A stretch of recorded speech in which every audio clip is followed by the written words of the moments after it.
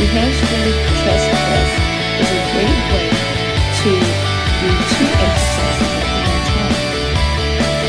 Start with one knee bent and press up behind the protected At the same time, with your arms to do the chest muscle.